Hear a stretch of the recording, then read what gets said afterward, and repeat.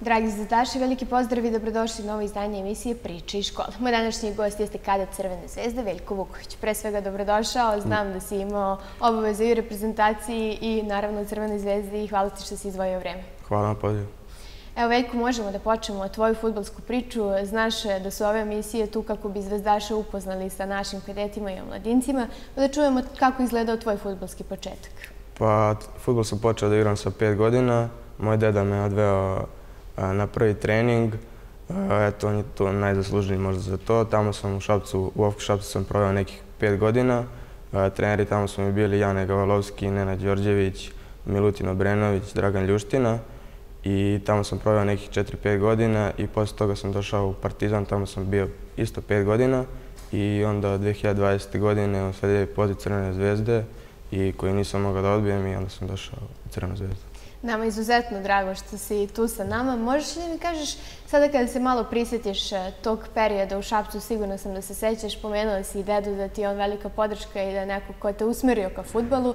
Kako su izgledali ti prvi treninzi, prvi dani? Da li si zavoleo futbol odmah na početku?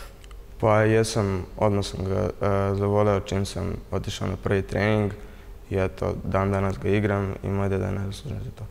Sigurna sam da te prati na svim utakmicama. Kako to izgleda? Da li dolazi na utakmice kada se igraju u Beogradu ili je tu Zvezda TV? Zvezda TV kući gleda i posle utakmice komentarišemo zajedno kako je bilo. Reci mi, da li je, sigurno sam tačnije da je najveća podrška, ali da li je on i najveći kritičar? Pa nije, tu je naravno mama, tata, mislim da su oni najveći kritičari, ali naravno mora, mora to da ima i eto, i oni su mi isto velika podrška. Dakle, deda je tu da pruža podršku. Jeste, jeste. Sada kada smo se svrnuli na taj period u Šapcu, dakle, ti si bio u Šapcu do koje godine? E, pa do moje 9. i 10. godine sam bio u Šapcu. Zatim prelaziš u Beograd. Da. Prelaziš u futbolski klub Partizan kod našeg večitog rivala, pa zatim prelaziš 2020. u Crvenu zvezdu. Taj prelazak u Crvenu zvezdu, možeš li mi kažeš kako je izgledao? Nikada nije lako preći iz da kažemo, kluba večitog rivala u klubu u kojem si sad i znamo da negde mnogo igrača koji su se kasnije usmerili kod nas, mnogo je bilo i oni koji su navijali za Crvenu zvezdu i igrali tamo, pa možeš li da mi kažeš kako izgleda? Pa naravno da je to bio težak period za mene. Tad sam se osjetio da mi je trebala neka promjena i Zvezda je zvala u tom trenutku i nisam mogao da odbijem taj poziv i došao sam u Crvenu zvezdu. Kao što si rekao, to je poziv definitivno koji se ne odbija. Kada si došao u Crvenu zvezdu, sigurno sam da nisi sarađivao samo sa jednim trenerom do sad, pa možeš li da mi kažeš o kome se to sve radi? Kada sam došao u zvezdu, trener mi je bio Bojan Maćešić. On mi je bio trener nekih šest meseci.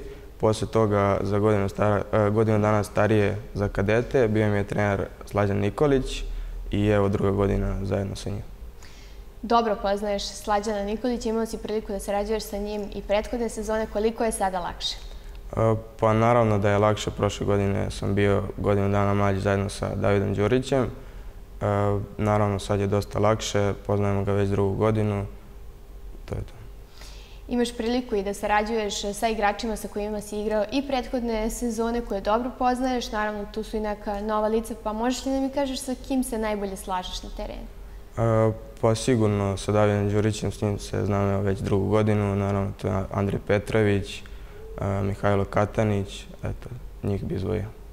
Sada kada se osvrnemo malo i na tvoju poziciju na terenu, igraš po krilu, da li je to pozicija na kojoj si bio od početka svoje karijere ili se to menjalo?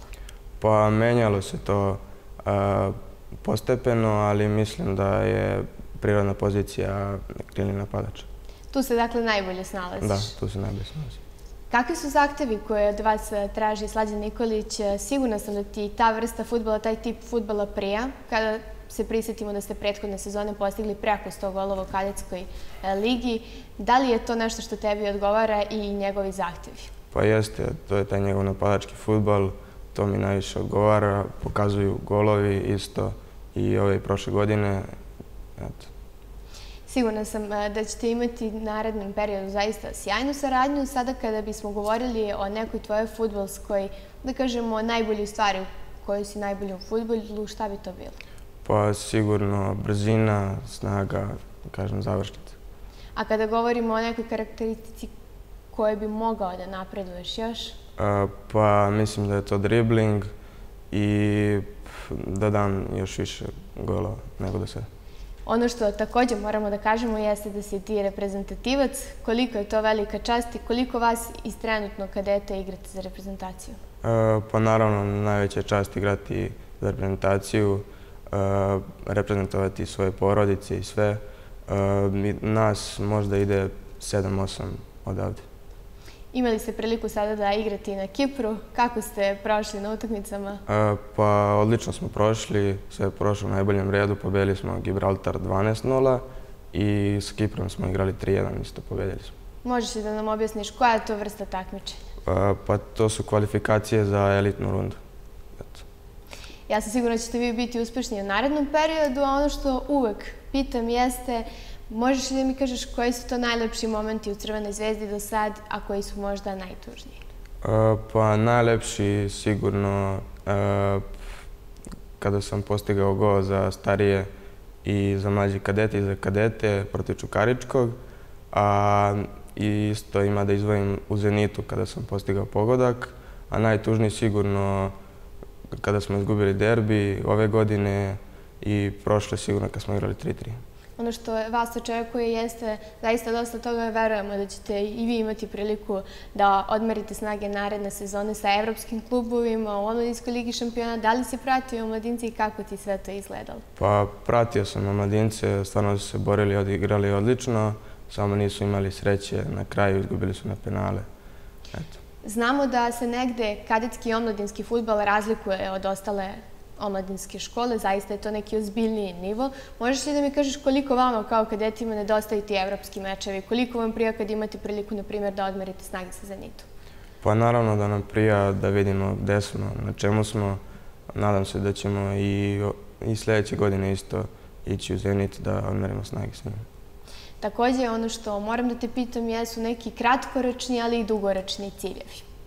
Pa, pokušat ćemo sve što je naša moći da osvojimo ove godine kadetsku ligu, a dugoročni da što pre zaigram za prvi tim Crvene zvezde. Ja ti želim da to tako i bude. Hvala ti puno što si izdvojio vreme. Nadam se da te nismo previše odvukli od tvojih obaveza danas. Niste, niste, niste. I nadam se da ćemo se vidjeti na terenu u Marakani. Nadam se i ja. Za to je bilo sve za ovo izdanje emisije Priče i škole. Ja se nadam da ste vi uživali.